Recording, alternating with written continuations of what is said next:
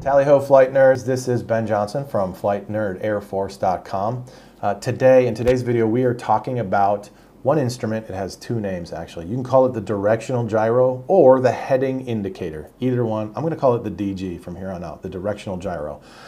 Uh, it's the instrument that helps you know which direction you're flying. So if you don't want to get lost, if you want to be able to find your way to the airport that you're heading to, today's instrument is very important. Okay, uh, and again we're covering these things, you might be interested in flying real airplanes. You might be interested in getting your uh, pilot's license at some point, but maybe not. Maybe that's not you. Maybe you just want to learn to be involved in aviation. You really like aviation. You like the science behind it. It is super interesting to you.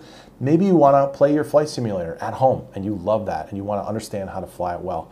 Uh, this video is going to help you understand how to get to where you're going by understanding the directional gyro, the DG, or the heading indicator. Same instrument, two different names. Hope you enjoy the video. On the bottom center of our six pack of instruments, we have what is called the directional gyro or our heading indicator.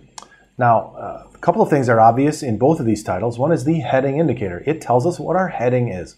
Which direction are we heading?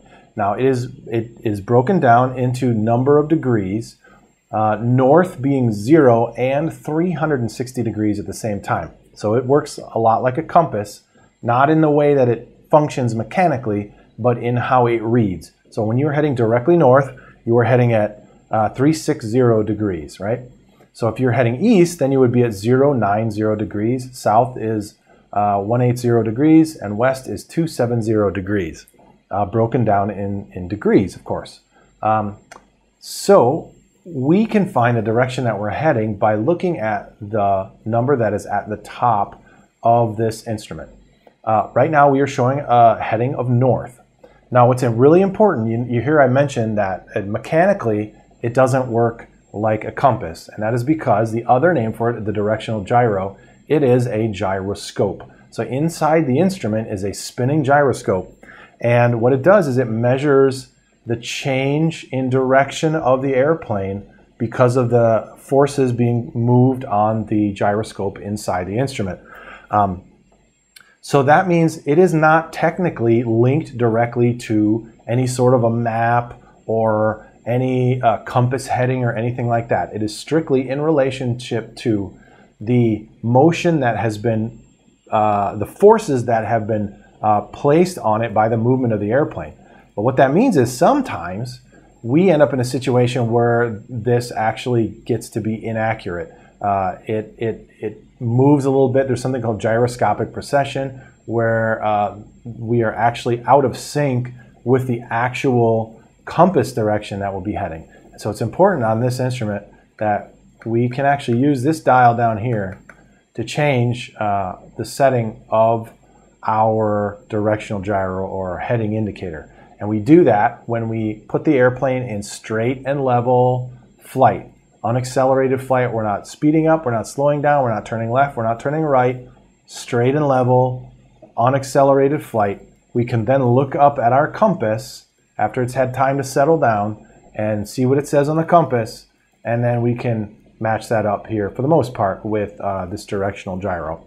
Uh, and this will help us do our turn. So what I'm going to do is I'm going to use the simulator here and I'm actually going to, I'll, go, I'll turn uh, 90 degrees to the left and then 90 degrees to the right to get us back on a heading of north, just to show you how this works. So here we go, I'm gonna make my turn and I'm gonna make it a coordinated turn, seeing as in our last video, we talked about our turn coordinator.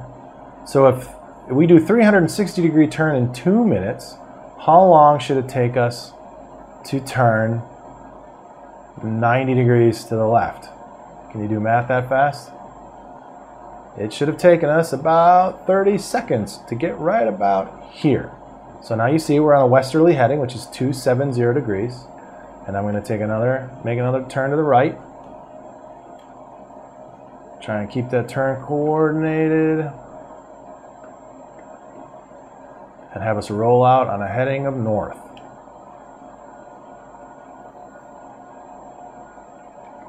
Again, making sure that when we need to, every now and again, we just check our gyro to make sure that is matching up with the compass, but only when we are in straight and level unaccelerated. Well, I hope that video on the directional gyro or the heading indicator was very helpful for you. If you are trying to figure out which direction you're heading, whether you're using your heading indicator or you're just trying to figure out where to go in life, I've got a great video for you. It actually describes, and it's called What It Takes to Get a Private Pilot's License. So if you're thinking that a direction for you in your life might be getting a private pilot's license, this would be a great video for you to go uh, and check out all the details.